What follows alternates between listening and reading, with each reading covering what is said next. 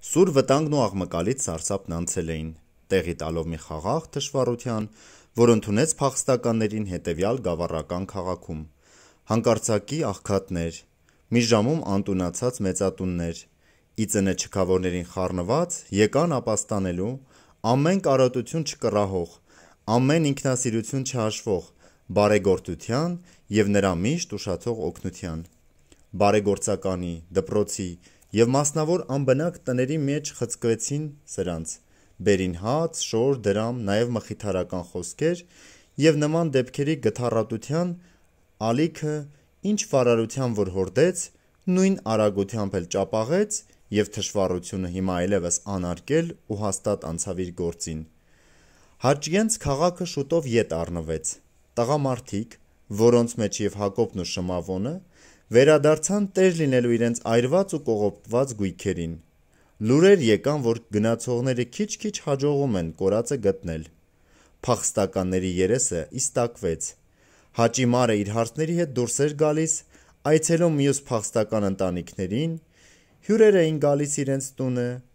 և հին մեծատան հյուրասիրությունը փորձեր էր անում հին ընթացքով քայլելու: Ծիծաղն սկսեց երբեմն իր ձայնը լսեցնել նրանց տանը: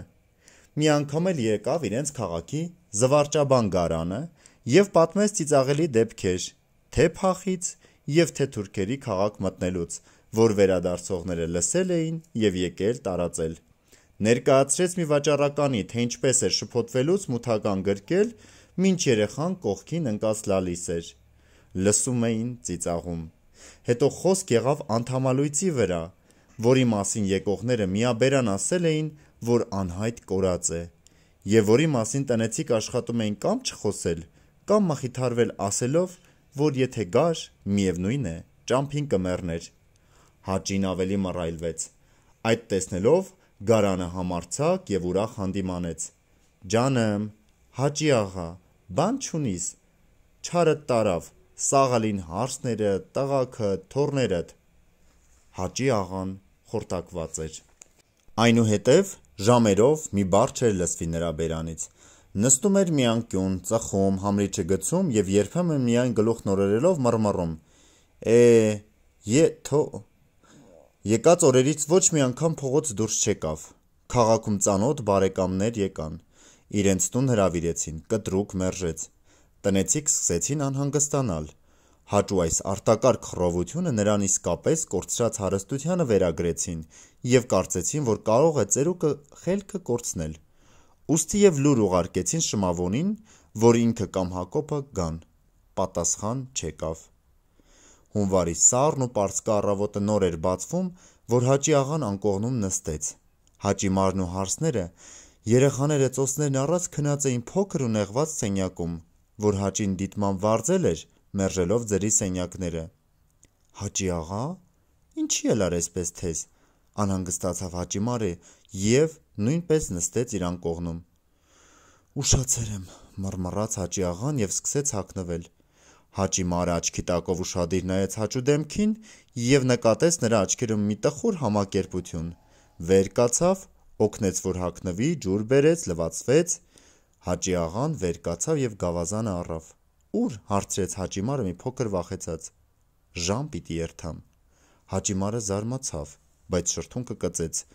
Դրդեց հարսներին, որ վեր կենան և ասաց, որ իրենք ժամ են գնում: Հարսները զարմացած նայեցին Հաճուն, բայց Հաճի մարը գողունի մատները դրեց շրթունքին, որ չխոսեն: Դուրս եկան փողոց և ձների ու սառույցների վրայով անխոս գնացին եկեղեցի: Երբ մտան եկեղեցու բակը, Հաճու հանգիստ դեմքի մկանները ցնցվեցին: Նա դողդոջուն շրթունքները հպեց եկեղեցու քարե դռանը, համբուրեց, երեսը խաչակնքեց և կզակը դողացնելով ներս մտավ եկեղեցի: Առավոտյան ժամ էր և եկեղեցին թափուր: Երբ ժամն ավարտվեց, Հաճի մարը առաջարկեց, որ գնան տուն, բայց Հաճին մերժեց և մնաց իր տեղում չոքած: Սպասեցին պատարագին: Շուտով եկավ մեծ հարսը և հարս ու կեսուր քաշված մի անկյուն սկսեցին փսփսալ: Հաճի մոր համար պարզ էր, որ Հաճի-աղան հոգեկան հիվանդ է դառել և սկսեց աղոթել, տրորվել: Չոքել էր Հաճի-աղան և ավելի մտածում էր, քան աղոթում: Հաճի մարը նայեց նրա սմքած երևույթին, կորացած մեջքին, դեղնած մագաղաթե դեմքին, ծխից կարմրած բեղերին եւ ճերմակ ցախ-ցախ մորուքին, որոնց վրա փախից հետո ածելին չբանեց։ Նայեց Հաճի մարը եւ զգաց, որ ծերուկի վիշտը շատ խորն է։ Միմինդար քաշեց ծերուկի տակը, բայց սա մերժեց։ Եկեղեցին լուռ էր, ցուրտ։ Խնկի դուրեկան հոտը դեռ օդի մեջ։ Ահա արևի ծիրան սյուները պատուհաններից կախվեցին ներս։ Եկավ ժամկոչը, հետո քահանան, կամաց, կամաց աղոթավորը շատացավ, սկսվեց պատարակը։ Հաճին անշարժ ու հանգիստ նայում էր իր առաջ պաղ քարերին։ Միայն երբեմն, երբ արծաթագլուխ տերտերը շուռ էր գալիս դեպի բազմությունը եւ հորից լսվող ձայնով ասում էր «խաղաղություն, ամենեցուն», Հաճին գլուխը կախ էր գցում եւ երեսը վախեցած խաչակնքում։ Երբ գնացին տուն եւ ամենքը շարվեցին դաստախոնի շուրջը եւ սկսեցին թեյ խմել, մեծ հարսը բերանը մոտեցրեց Հաճի մոր ականջին։ Գիտես, Հաճի աղան տերտերին, տիրացուին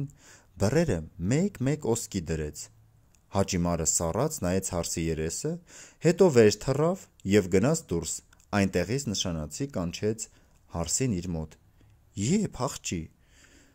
Դուն սեղանին էիր մոտեցե աղոտ կենեիր, պատասխանեց հարսը։ Աղքտներունը մեկ-մեկ ոսկի տվեց։ Չէ, ջանım, հեված Հաճիմարը հուզմունքից։ Աչքովս տեսա։ Հա, խռովեց Հաճիմարը։ Ձեզի բան կսեմ չեք իմանա։ Աման աստծո խաթր, Հաճիս ձերքե գնաց։ Տնե օճխե հերու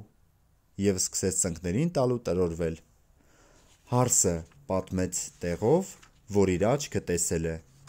Հաճիմարը նորից ներս մտավ, իրեն զսպեց եւ հարսներին աչքով արած, որ ուշ չդարձնեն հաճի վրա ու սկսեց հսկել նրան։ Երեխաները դուրս գնացին ձյան վրա խաղալու։ Հարսները սփռոցը վեր քաշեցին, նորից մի թեթև ավլեցին սենյակը, որ առավոտվան խնամքով ավլել էին, փայտ ավելացրին թիթեղե վառարանին եւ գնացին աշխանան, խոհանոց կերակուր եփելու։ Հաճիմարը նստեց աղայի դիմաց եւ դիտելով նրա ամեն մի շարժումը, սպասեց, որ նա մի բան ասի, բայց ոչ մի նշան, թե ուզում է խոսել։ Նրա լռությունը ցույց էր տալիս, որ խորին ու մշտական խռովքը եւ ներքին տաժանելի մի աշխատանք դուր էր գալիս նրան։ Մի պատկեր կար, որ երևակայության մեջ ամբողջացնում էր նա։ Դա նրա կիրքն էր, որ նրան եւ սարսափեցնում էր, եւ ուրախացնում։ Նա տեսնում էր անդամալույցի դիակը, եւ աշխատում էր նայել նրա սառած բաց աչքերին։ Ճգնավորի մոլուցքի մեջ ընկած հավատացյալի կրքով նա հետևում էր այդ պատկերին եւ աշխատում էր երբեք ոչ մի վարքյան աչքից բաց չթողնել։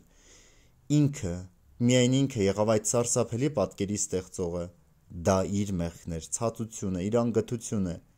Եվ ինչքան երկար նայում էր այդ դիակին, այնքան կսկծում էր իր սիրտը եւ այնքան էլ հաճույք, հանգիստ էր զգում։ Անդամալույցը դարավ մի սուրբ, Մի պաշտելի սուրբ նրա համար, նրա դիակը սրբագործում էր ծերուկի մեղսալից սիրտը։ Ահա ինչու նա կարչել էր նրան։ Բայց այս ապաշխորողի թեթևացումը երբեմն էր միայն։ Լինում էին րոպեներ, որ նա զգում էր խելագարվում է։ Այդ պատահում էր, երբ նա պայծառ գույներով պատկերացնում էր իր իսկ մահվան օրը, կամ երբ հիշում էր իր սարսափները փախի գիշերը։ Հիմա էր հաշիվ տալիս իրեն եւ զգաստորեն հաշիվ տալիս, որ հենց այդ սարսափներ է կրել իր քույրը, այն արհամարված էակը, որի մեռնելը ինքը ցածոկի կերպով այնքան հեշտ եւ հասկանալի համարեց փախի օրը։ Եվ ինչպես կարելի էր թողնել նրան մահվան առջև։ Եվ կա արդյոք մի արարած, որ չտանջվի մարմնական ցավից, չվախենա մահից եւ իրավունք չունենա ապրելու եւ ինչ համակերպությամբ ընդունեց անդամալույցը իր համար որոշած վիճակը, եւ ինչ անձնվեր հոգատարությամբ նա մտածում էր փախչողների ապահովության մասին։ Սա արդեն խոցում էր հաճու սիրտը։ Եվ երբ հաճին հիշում էր, թե ինչպես ինքը անկարող եղավ կյանքի սերը մերցնել իր մեջ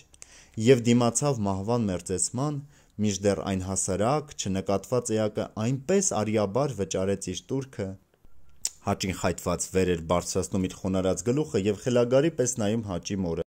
Հաճի աղա արթնացրեց նրան իր կինը։ Հաճի աղան նայեց նրան խորասուզված հայացքով եւ լռեց։ Ախր մեմս է տեսնենք ինչ կմտածեց, հանդիմանեց Հաճի մարը։ Հաճին լուռ էր։ Թե կորուցած թե միտք տնկե։ Տղակը ծաղալ են, ինչ կմտածես, թե սրբունին վրա է, միտքդ, բան չունիս, անքանները մեռան, ավելի ազիզները, լավ կսեիր, թե ան ավելորդ է։ Հաճին մռայլ նայեց իր կնոջը եւ գլուխ օրորեց։ Եվ նա սաստեց խստահայաց նայելով հաճի մորը։ Սուս, ավելորդ մարդ չկա։ Աստծո արչև հոգին հոգի է։ Հաճի մարը զսպվեց։ Օֆ, հառաչեց Հաճի աղան։ Գնա, սատ կողշանը հարցուր, թե սատկերը ղոլայ է, հեշտ բան է։ Նրա դեմքը տխուր էր, աչքերը խորն ընկած, իսկ անածիլած կզակի ու այտերի ճերմակ մորուքի ցախերը նրա դեմքին տալիս էին խստակյաց ճգնավորի երևույթ։ Մի շաբաթ անց Հաճի աղան պարկեց անկողնում։ Երևի ժամում մրսել էր, քրտնեցրին, ֆելչել բերել տվին, ոչինչ օգուտ չեղավ եւ մի երեկո ճրակ վառելու ժամանակ Հաճին տերտեր ուզեց։ Հաճիմարը ծնկներն էր ծեծում եւ գողունի նայում հաճի աղային, որ տեսնի, թե վտանգն անցնում է, թե ոչ։ Եվ մինչդեռ տնեցիք թաքցնելով իրենց հուզմունքը սпасեցին մի պահ եւս, որ գուցե թե հաճին ինքը մռանա եւ էլ չպահանջե տերտերի գալը, հաճին հանգիստ եւ པարս կրկնեց, որ տերտերի պետք ունի։ Կանչեցին։ Եկավ արծաթազար տերտերը, որ բնազդով իմանալով թե մահամերց հիվանդ է, հետը բերել էր հաղորդությունը տնեցիկ բոլորվեցին հիվանդի շուրջը Տերտերը ձեռքով արավ, որ հեռանան, հասկացնելով, որ հիվանդին պիտի խոստովանեցնե, բայց Հաճի աղան խնդրեց, որ մնան, եւ բարձր ձայնով, մոլեռանդ հույզով խոստովանեց, պատմեց, թե ինչպես ինքը թողեց անդամալույծին։ Մեղա քեզի, մեղա, լացեց եւ համբուրեց ավետարանը։ Տերտերը մխիթարեց եւ հաղորդություն տվեց։ Երբ երբ հիվանդը հաղորդություն առավ, դողդոջուն ձեռքը տարավ բարձի տակը եւ հանելով թղթի մեջ փաթաթած մի քանի ոսկե դրամ տվեց տերտերին։ Աս քեզի շշնջաց նա եւ հանելով մի ուրիշ քսակ, դողդոջուն ձեռքով մեկնեց տերտերին ու աչքերի երեխայական արտահայտությամբ նայեց նրան եւ ուզում էր մի բան ասել, բայց մնաց։ Շունչը կտրվում էր, սաստիկ հուզված էր։ Ասում, հարցրեց տերտերը կռանալով նրա վրա։ Ում տաս, մրմնջաց Հիվանդը եւ լռեց։ Արտասուքը խեղդեց նրան, շունչը առավ եւ հառաչեց. Ադա, տուր աղքատներուն։ Եվ խլելով տերտերի փեշը, համբուրեց եւ մղկտաց ավելորդին հոգուն համար